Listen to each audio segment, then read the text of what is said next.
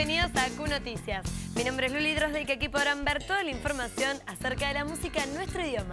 Y para comenzar, vemos los siguientes adelantos.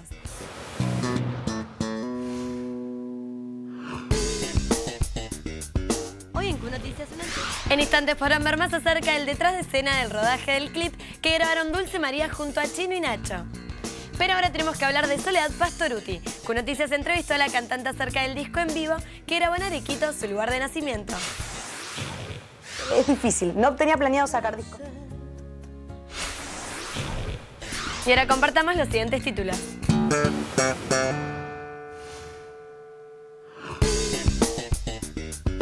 Julieta Venegas aseguró en una entrevista, soy mujer y escribo como mujer, pero no soy cantante de mujeres. La artista mexicana que volvió a cantar en vivo después de haber tenido a su hija está por comenzar una gira por Estados Unidos en la que presentará otra cosa, su último disco de estudio. David Bustamante participó en un partido de fútbol a beneficio de la Fundación Síndrome 5P, que ayuda a los afectados por una dolencia del mismo nombre. Dani Martín del Canto de Loco también jugó hasta que una mala caída le provocó una lesión que lo obligó a ver el resto del encuentro desde la tribuna.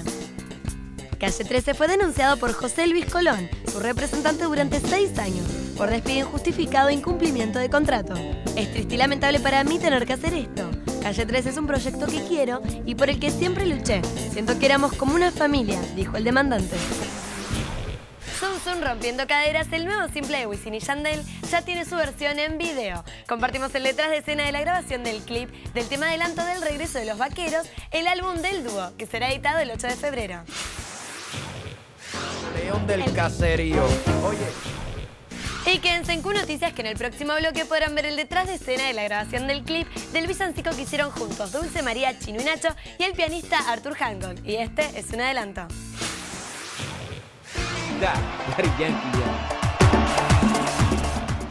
En instantes podrán saber más acerca del emprendimiento de Daddy Yankee. Pero antes les mostramos el detrás de escena de un clip que unió figuras del pop y la música urbana. Nos referimos al video del villancico que hicieron juntos Dulce María, Chino y Nacho y el pianista Artur Hadlon. Y ahora compartamos los siguientes títulos.